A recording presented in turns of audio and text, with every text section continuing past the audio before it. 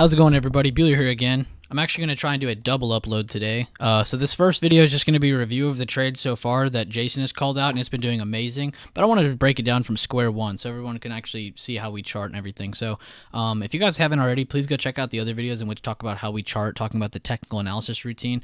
Uh, and a big thing that we start with is on the weekly time frame. So if you haven't checked it out, please go start with that before you watch this.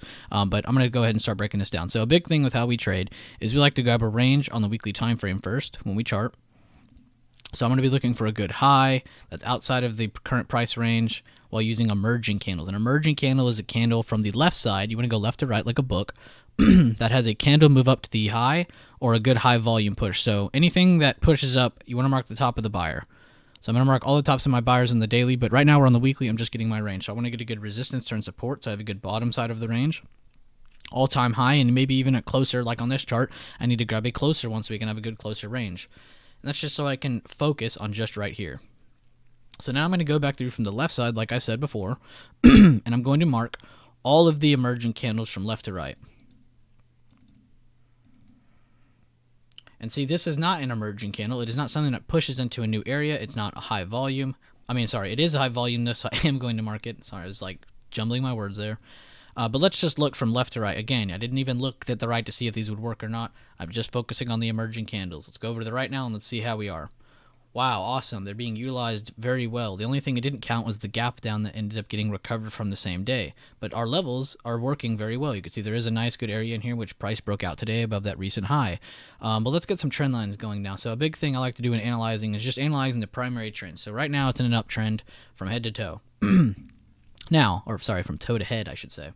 Uh, but now we want to see because it's clearly in an uptrend. Now we want to see what's happening on you know towards that trend line. What's happening towards that? So I want I want to see that stuff now. So let's focus on the current trend. So right now you can see it did end up breaking a good downtrend change in which Jason talked about in the alerts before. Uh, but price ended up breaking up, slowly working up to this 115, rejected it, and then worked itself all the way down and I'll show you here in a second, worked all the way down to 95, 96's area, and now is pumping back up and giving us a good trend change play again. So very, very similar to how this looked when it was popping out over here. You're now seeing it again right here. See how you have this retest come down and hold on the same level? See how you have the retest come down and hold on the same level? These are the 50% control points. Big thing with how we trade. Big way you can grab these is from where price recovered inside of trend up to the high of the move. Price ended up holding around the 50% control point and continued itself up. Let's do it again. Mark up that again from bottom of support to high of the trend before uh, the most recent recovery, of course, or retracement, end up holding the 50% retracement. Just another side tool we look at. We like to mark those control points. Anytime you have a big candle like this breakout, we like to mark the 50% of it. Uh, so anytime you see that, go ahead and mark it. I almost bet you it's a very, very, very, very strong and crucial level.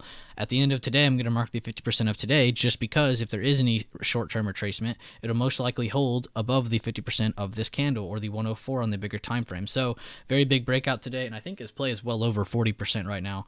Uh, so if you guys took this play, amazing job. But I wanted to break this down head to toe uh, of exactly what Jason was looking at when he was taking control of this trade. Uh, very awesome though. Double confirmation too above that recent high, like I said before. Uh, but let's look at the smaller time frame. I want to cover something with everybody. Uh, so smaller time frame. What should you be marking each day? You at least need to be marking your previous day high, your previous day low, your pre-market high and your pre-market low. So at all, at all times you need to have these marked on the next day. So if you need to re-clear your chart, please do so.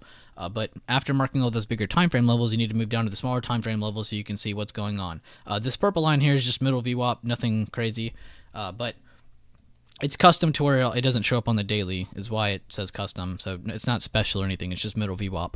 Uh, but as you can see, price ended up holding that while also breaking above pre-market high. And let's see to that previous day high, how it worked. Price ended up pushing above the previous day high as well, so that's a good trade opportunity there. A good trade opportunity there. Price ended up holding, breaking it, holding as an 80% entry, and 80% entry is a retest. Please refer over to our big day trading video if you don't know what I'm talking about. Price ended up pushing back up and confirming above that recent day high for another trade opportunity. So even if you aren't a big swing trader, there was four swing or day trade opportunities right there to get in on Jason's play. Amazing work if you guys got into this. Uh, but I hope you guys enjoyed this video, and if you want more of these shorter breakdowns in some of our trades, let me know, and I'll get into them.